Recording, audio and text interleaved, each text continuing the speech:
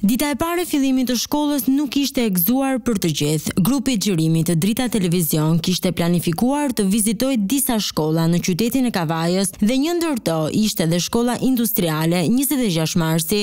Sapo u futëm në territorin e shkollës mësuam se kjo shkollë do të mbyllej për arsye të nivelit mjaft të ulët të regjistrimit të nxënësve të vitit të parë Drita Televizion tentoi të intervistojë disa mësues apo drejtues të kësaj shkolle, por nuk pranuan të flisnin.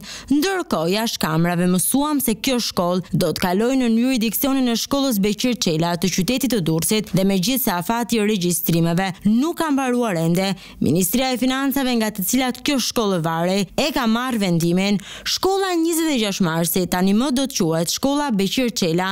Me të drejtë lind pyetja, Edhe sa institucione të tjera të qytetit të Kavajës do të transferohen në qytetin e Durrësit apo të Tiranës. Siç e dimë nga reformat e fundit të marra nga qeveria, Kavaja është pa kadastër, e cila ka kaluar në varësi të Tiranës, gjykata po ashtu. Edhe komisariati i qytetit tani më varet nga i Durrësit, ashtu si edhe ujësjellësi dhe në fund edhe një shkollë e sapoinvestuar do t'i kalojë qytetit të Durrësit.